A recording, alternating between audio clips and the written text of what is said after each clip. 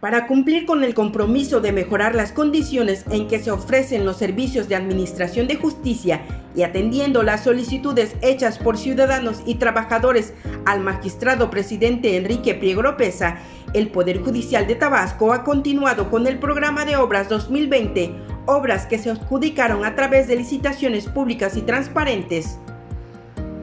En el municipio de Centro se hicieron trabajos de rehabilitación integral, así como mejoras en los juzgados civiles y familiares de la colonia Tasta.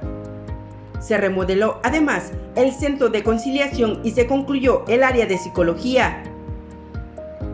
En la región 9 del sistema de justicia penal acusatorio se instaló un elevador para personas con discapacidad, se construyeron banquetas y guarniciones estacionamiento, rehabilitación de cisternas e instalación de escaleras marinas.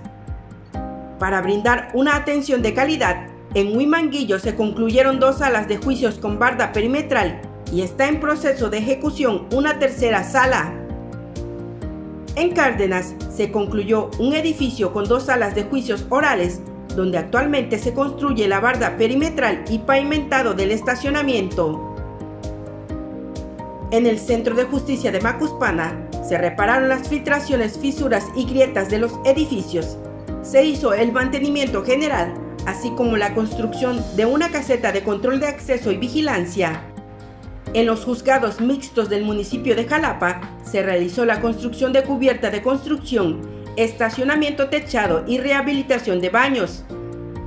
Mientras que en los juzgados de oralidad se colocaron puertas de seguridad y remodelación de dos salas de oralidad. Los juzgados tradicionales del municipio de Jalpa de Méndez recibieron mantenimiento integral, lo mismo que los juzgados de oralidad ubicados en Cunduacán, donde se están remodelando dos salas de audiencias. En los juzgados de oralidad de Comalcalco se construye la barda perimetral, estacionamiento con concreto hidráulico, así como la caseta de control de acceso.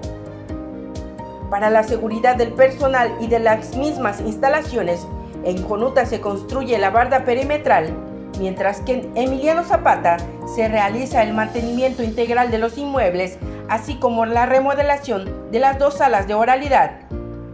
Y esto es apenas el principio, pues de acuerdo al titular de la institución, no se escatimarán esfuerzos ni recursos para mejorar todas las instalaciones del Poder Judicial